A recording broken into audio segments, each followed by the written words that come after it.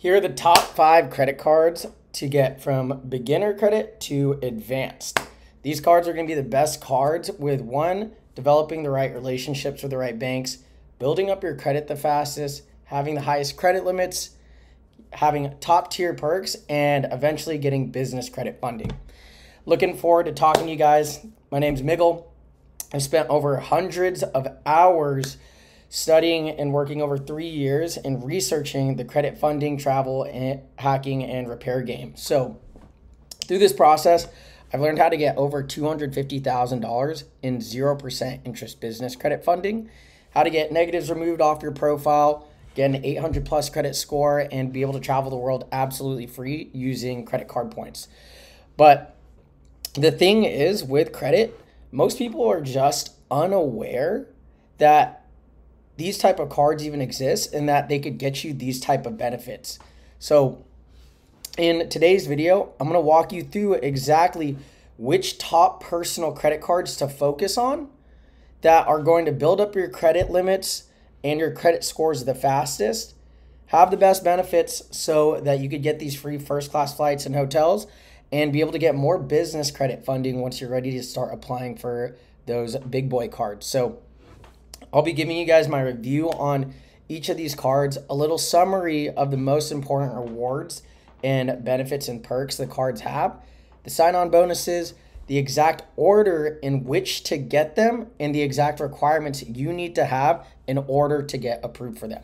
So, all I ask is if you guys get any value from this video at all, please make sure to go share it with any friends or family who might benefit from it. Um, give it a like, subscribe to the channel. I do all this for you guys, and it it just means the world getting a lot of great feedback from you guys. Um, also, if you guys think it's totally crappy, um, let me know in the comments. Let me know how I could I could do better. I'm I'm always open to feedback. Um, but if you have any questions, leave them in the comments as well. I'm always here to help. Um, but yeah, perfect. As usual, this is MTV. The M is for Miggle, money, motivation. Let's get into it. So, something I want to note for these list of cards I'm going to mention, the criteria on why I believe these are by far the best cards to get are based off of a couple key factors um, when we're going down this list. So, one, we want to create a relationship with the top tier national banks. They typically provide the most competitive rates and benefits as opposed to these smaller tier banks. Number two, most of these banks offer 0% business credit cards that you're going to want to take advantage of at some point. You decide on applying for funding with them later because you've already established that relationship. They're going to see you as a more trustworthy borrower to give you more funding on the business side since you've already established that relationship and trust on the personal side. Lastly, the most value you get from these cards are usually either from cash back or travel slash point earnings, typically you're going to get the most value when you redeem it for travel. But if you don't do too much traveling, then you can always redeem the points or other benefits for, for cash back. But you guys are going to want to stick to the very end because I have one bonus card that are going to be the mother of all perks. Plus, I'm going to give away some free data points that are going to help you get approved for higher credit limits on these cards. So it's one thing to get approved for the card, but if you're getting approved and you're only getting, let's say, like a 2K credit limit, like who the like what the heck are you going to use that? So um, I'm going to give you some data points that personally helped me be able to get approved for 10, 15, 20K plus uh, credit limits on these type of cards. All right, that's enough talking. Let's get into it. Top five personal credit cards. Number one, we are starting with drumroll, please. We got the U.S. Bank secured altitude card. So, no one is talking about this brand new secret secured credit card. It's perfect for building up your credit fast, and it's also super easy to get approved for. So, here are the specs on it, right? Um, it's a secured card, so right there is it's not like your normal revolving line of credit. It's basically like a debit card that is going to help boost up your credit Um, so it's basically like a debit card. Just remember you gotta preload some money on it to collateralize it. But this is a really cool card because there's zero dollar annual fee, and it actually comes with uh, benefits and perks versus like a normal debit card. They don't reward you for crap when you use it. So you get 4x points on dining and takeout. That's huge. 2x at groceries and gas station. 1x on everything else. And then you get a $15 streaming credit. So if you got Hulu, Disney Plus, Netflix, or whatever, uh, $15 of that. Anytime they see those streaming services, they're going to debit your or credit your account $15. So you basically get Netflix for free. So really cool. Um, other big thing is no foreign transaction fees. That's pretty dope. So if you're out traveling, they aren't gonna charge you a bunch of uh, you know some percentage or whatever anytime you're using that card. So, so some banks do make you pay that. So that's pretty cool that U.S. Bank doesn't do that. Um, again, another cool thing is this bank has a 0% business credit card. It is for 18 months. So that's a year and a half of 0% that you'd be able to invest in something. Um, so we want to establish a relationship with them early on. No better way to do it that with the US Bank Altitude card. So in regards of being able to get approved, here are the requirements. You could have really crappy credit and still get approved. Again, it's a secured card, so they know the people reaching out this is for people who are just starting out with credit or you know they screwed up their credit and they need to rebuild it so that's why the requirements are pretty easy to get into so that's the altitude card number two is drum roll we got the freedom unlimited card so this is with chase bank some specs they have it's also zero dollar annual fee you get 0% for 15 months so you can invest it um, or pay down balances on other cards so you're not paying any interest on it. Um, my only recommendation with this is you never want to have more than 30% utilization on your person each of your personal credit cards. So just don't max it out if you're going to take advantage of that 0% um, offer because your score is just going to radically go down. And obviously, we don't want to have that happen. Um, and then 1.5% cash back on everything for the first year up to 20K. So that's $300 free basically. Um, when you spend that much, you get $300 total. And then within the first year, you also get 6.5% cash back on travel through their portal, 4.5% on drugstores and dining. And after the first year, it's 5% travel, 3% drugstore and dining. So definitely this first year, you're going to want to run up the crap out of that card and just take advantage of all those increased percentages for uh, the points and the cash back. Um, in regards to requirements, this one, right? Um, Chase Bank is a really awesome bank. Um, they, aren't, they aren't just giving out cards to anyone with poor credit, so you need to be around that minimum 690 score and up. Um, my review for this card is it's a great beginner travel hacking card. It gives you access to their online portal. Start using those points. Start using that to book those um, those flights and hotels. And what I really like about this too is we're able to develop that relationship with Chase Bank, and we want to prioritize doing that as soon as possible because they have what's called the five and twenty four rule. Basically, that means you can't have more than five personal credit cards open within the last 24 months. So if you're past that, doesn't matter with which banks. If you have like six Amex cards, within the last 24 months, they will not, you'll get an automatic denial from uh, Chase. And Chase has a lot of great benefits and perks that Chase and Amex are probably the top two uh, banks in the US, uh, I, I would say. Um, but Chase, they give really high credit limits on the business side as well. And they have great customer support. So Chase Bank, Freedom Unlimited, really good. Number three, we've got the Chase Southwest Rapids rewards.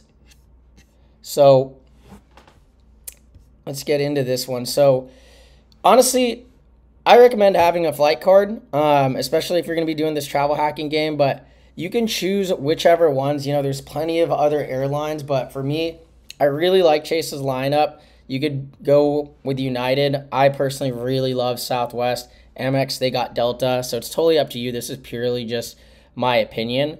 Um, but this may be an unpopular opinion, but the best flight card is definitely Southwest. Um, I use the Premier card. Why? Is because they're really great for budget travelers, right? You get two free check bags, um, free carry on, flexible cancellation. So it's really cool. I really like what they're doing uh, with their whole setup. It's, it's a lot different um, experience because you, you also don't get assigned seating, which is really cool. Um, you just kind of sit wherever. Um, but Southwest is really cool. So here's their specs. They do charge a $99 annual fee. It's totally worth it. You get 50K bonus uh, after you spend 1K in the first three months. Super easy to get. Um, 6K anniversary points each year. So that could pay for a one way flight depending on where you're going each year. So, boom, free travel right there. And then you get 3x on Southwest purchases, 2x on ride shares, and then you get two early bird check ins each, um, each year. No foreign transaction fees. That's cool. Um, again, requirements you want to be around a 690 and up. Uh, but my review for this card is this is purely opinion based, but plenty of other great airlines. But I'm a ride or die, uh, and I support the crap out of Southwest. Um, I just lo- love how flexible and easygoing they are. So that's number three, or what is that? No, actually, yep, that's number three. Sorry. um, next on the list, we've got Amex. Let's get into it. So this card is going to earn you thousands of dollars in travel points so apply for the Amex Gold. They also have the Rose Gold. They're basically the same card. You get just kind of get to choose what they look like. But this one is a little bit higher for the annual fee. We got two hundred fifty dollars. Um, you get a sixty k bonus points after you spend four thousand dollars in the first six months, um, and you get four x points on restaurants and supermarkets, three x points on flights booked through Amex portal and you get $120 worth of Uber cash a year. So, boom, you're already paying like more than half or about half of the annual fee just with that. Um, no foreign transaction fees, $120 dining credit. Like this right here already pays back for the value of the card, which is pretty cool. Um, Amex, they're, yeah, like I said, Chase and Amex are like the best banks you want to have relationships. You do not want to ruin that with them. Um, when you apply, make sure you have a 690 plus. Um, my review for this card is it is a charge card, basically not like a normal revolving line of credit where there's a preset spending limit, like a 10K, 20K credit limit. This, with a charge card, it just means your limits increase as you spend more on it and make the payments on it each month. So, with this card, use with caution and be responsible just because if you think, hey, I have like unlimited um, credit limits on this. You know, some people might start spending very irresponsibly, but I know you guys aren't going to do that because you guys follow me. I, I, I preach the credit, be responsible, and you you guys won't have any problems with that. But that's the Amex card, the Amex Gold. Now, coming back to Chase, this one card saved me over 10K in flights alone. If you love to travel, this card is the mother of all travel cards. By far my favorite. I use it anytime I can. This one is the notorious Chase Sapphire Reserve. So this does come in with a pretty big hit. $550 annual fee, but it pays for itself. This is a really incredible card. Um, so 60k bonus points after you spend 4k within the first three months, kind of like the Amex Gold, but the Amex Gold you get more time. If you can't spend that 4K within the first three months, don't worry. Um, you could always call the number on the back of the card and ask for an extension. You know, as long as you're nice, you have a good reason why you need it. They'll they'll be very flexible with you guys. Um, you get a three hundred dollar annual travel credit. So that means anything that's labeled as a travel expense will get written off for three hundred dollars. So the five fifty you paid you're already getting $300 of value right off the bat. So that could be like Ubers, flights, hotels, anything like that. 5x points on flights and 10x on hotels and cars when purchased through the travel portal. So just make sure you're on Chase's travel portal when booking and paying it with this card. And then 3x on other travel and dining. I always pay the bill and get people to Venmo me. Um, whenever I'm going out to eat, I, I just take the track and get people to Venmo me on the spot. And I'm always racking up hella points on that one. And then you get 1x on everything else. Um, other big thing is 50% more value when used through the Chase portal. So 60K points turns into $900 um, when you redeem it through the Chase portal. So that's pretty cool. Uh, access to over 1.3K airport lounges. So that's pretty cool. If you've ever been to an airport lounge, it's so nice. They, they get you taken care of. There's a lot of cool amenities like food, um, sometimes drinks, um, and just places to kind of like sit back versus being in like those cra- cramped um, airport areas. Um, excuse me. Next big thing that I really love is the travel insurance. So they have the auto rental collision damage waiver, lost luggage, and a bunch of other travel insurance. Like anytime I'm booking um, like a car rental, I, I travel hacked it. I, I, get only pay like a fourth of the cost for what is it uh, national, but usually you have they try to tag on all these fees for insurance, and whatever cost per day it is, it basically doubles with all those fees. This kind of waives that auto rental collision damage waiver um, because it's covered by the card. You just got to make sure you you put the you pay with this card when you're getting a car rental. Other big thing is TSA pre-check um, or global entry. You got to choose one or the other. Um, that gets debited back to your account. Um, this does require a lot higher credit limit. You know, you want to be coming in with at least a 720 and up for your best odds. Um, and as far as my review, this is the best. I, I use this thing all the time. it's the first card I see in, in my wallet. Um, pretty cool stuff. Um, now, if you guys have stuck this far, I appreciate you guys. um, we went through those top five, and I did mention how I have a bonus one for you guys.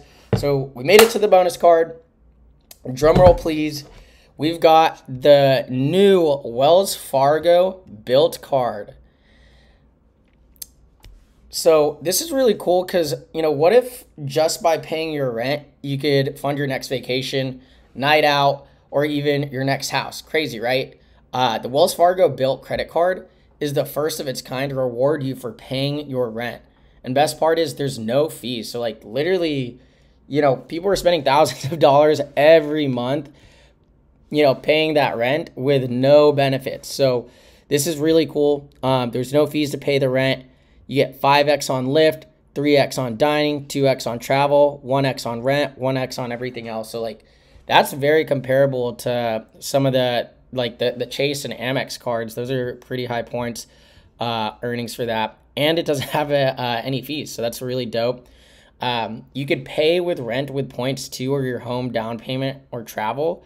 So as you accumulate more and more points, those have a, um, a dollar cost uh, associated with those points, and you could use that to pay off your rent or your down payment for if you're purchasing a home. Um, other big thing is they they have different tiers of perks. So the more you use it, they they give you more and more benefits um, and more point earnings. So it's really cool. For this, you want to have a 700 plus for best odds of getting approved. And my review for this is it is definitely a 100% a must have if you're renting, right? If you own a home, um, unfortunately, it doesn't work for mortgages, at least just yet. Um, we'll see if they change that in the future. But I'm currently using this card to pay for three rents for my Airbnb arbitrage business. This is racking up mad points every month. So, one thing to know is you have to make five purchases a month to qualify for rental points. Um, so, if you only use it just for the rental and you didn't rental uh, expense and you've never put any other um, purchases on there, then it will not count. So my suggestion for you is, you know, take five subscriptions that you have on your iPhone or like Netflix, Spotify, or whatever, and just bill it to this automatically. That way, you know, you're, you're guaranteed those points every time. Uh, you know, you could buy like five sticks of gum at, at 7 Eleven or something like that, something super cheap. It doesn't matter. Um, but yeah, guys, that is the top five personal credit cards to have in your arsenal. Um, I did mention something earlier. I was going to share some awesome data points with you. So, um, you know, it's one thing to get approved for a card, but it's another to get high personal credit card limits on it. And something I put on my applications is, you know, if I'm making around like 100 to 150k a year, like just kind of estimating ballpark, I like to be optimistic with my income. So, um, I you know I don't want to sell myself short to the bank, so I wouldn't be like if I'm making around 100 to 150, I'm not gonna say oh I'm, I'm making like 90 or 100k. You know I I'd put myself more on the higher end of that, um, just because my income is changing all the time and I'm always working on growing it. So anytime I'm applying for these cards, um, you know I put like 150k I believe for because it asks you your, your income and whatever you put on your income is going to determine it influences how much you're going to get approved for the credit limit. So I put, I, I, believe it was like 150K automatic approval, super high credit limit. I think I got like 15, 20K for the Bilt card. So really cool stuff. Um, but yeah, guys, those are the benefits, the perks. Thanks for sticking around for that bonus card and that, that free game on the data points try that out for yourself. Um, I use that data point and, and it works really well for me. So, just to kind of summarize everything. So, what did we learn? We learned that this credit card sequence is the exact order you want to apply for these cards. You know, if your credit sucks, go for the secured card and then go for those lower cards with the uh, top banks like uh, Chase Freedom and then go for those big boy bank cards with the higher uh, annual fees because they do require uh, uh, much better credit score. Um, again, these are rated the best based off of the perks and the fact that they have 0% business credit cards that we're going to apply for later. So we want to develop that relationship. And now that we have that relationship, when we do apply for funding, we're going to get a crap ton of 0% uh, credit limits for them. So here's the call to action. So if you got any value, please like, comment, subscribe, share this with a friend that could use it. Um, and make sure to use my referral links. Uh, we'll both get rewarded. And check out the credit resources I have down below in the description.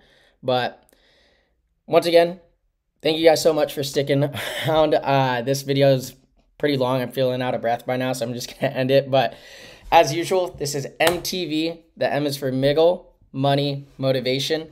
Peace out, much love, stay beautiful, and I'll see you in the next one. Peace.